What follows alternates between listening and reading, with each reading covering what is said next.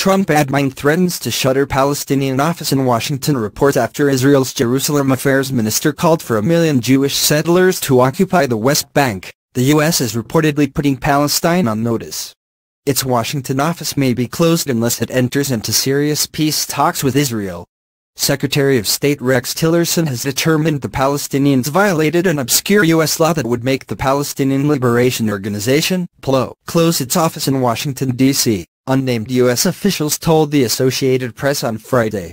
Under the 2015 Consolidated Appropriations Act, the PLO is not allowed to initiate an International Criminal Court ICC investigation, or actively support an ICC investigation that subjects Israeli nationals to an investigation for alleged crimes against Palestinians.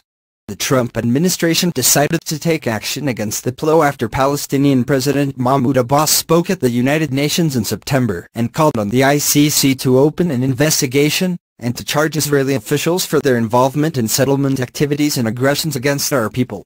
President Donald Trump will have 90 days to decide whether to permanently close the PLO's office or waive the law if he determines the Palestinians have entered into direct and meaningful negotiations with Israel. A State Department official told Haaretz that the U.S. is not cutting off relations with the PLO, nor do we intend to stop working with the Palestinian Authority. The official said, we remain focused on a comprehensive peace agreement between the Israelis and the Palestinians that will resolve core issues between the parties. This measure should in no way be seen as a signal that the U.S. is backing off those efforts.